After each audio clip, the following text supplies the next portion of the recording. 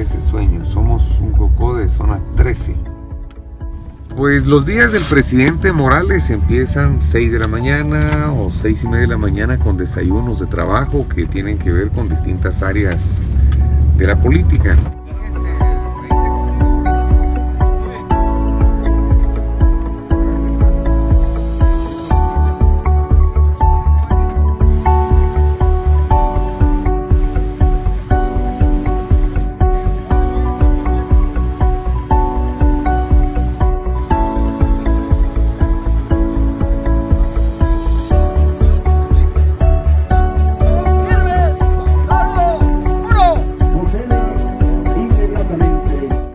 Momentos el señor presidente constitucional y el señor embajador de los Estados Unidos, acompañados de los señores ministros de la Defensa y de Gobernación, proceden al corte de la cinta simbólica.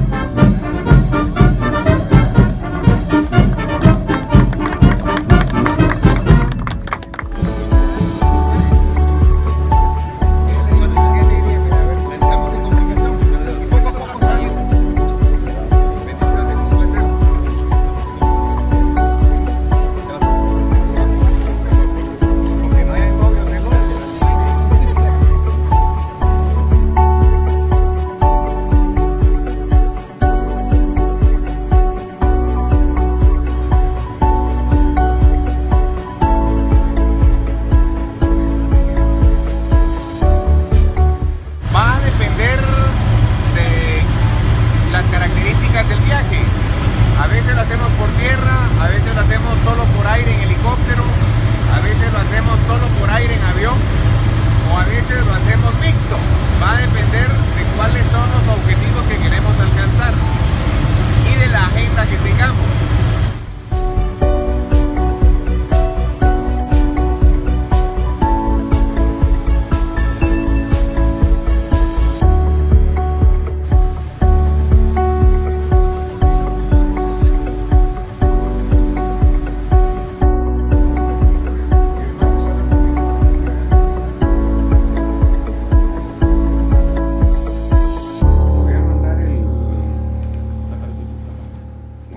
la lectura, sí, siempre me ha gustado leer. Este año, pues ahorita tengo varios libros en lectura.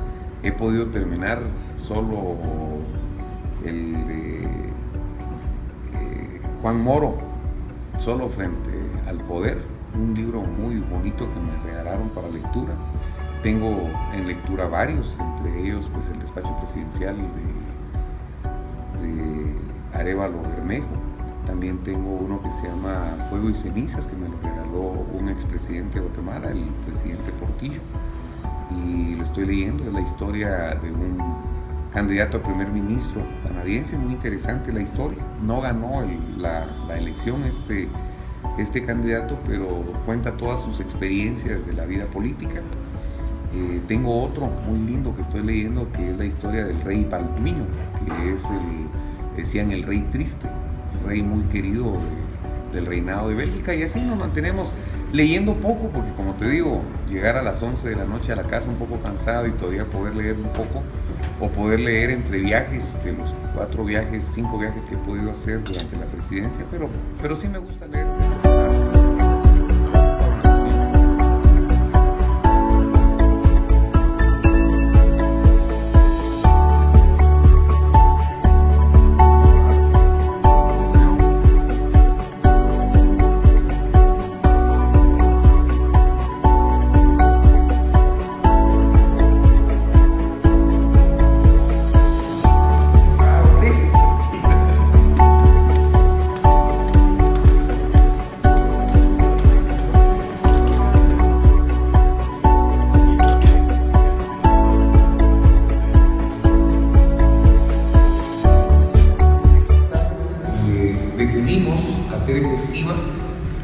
La renuncia del ministro y los viceministros y nombrar para que a partir de mañana que sean nombrados en Secretaría General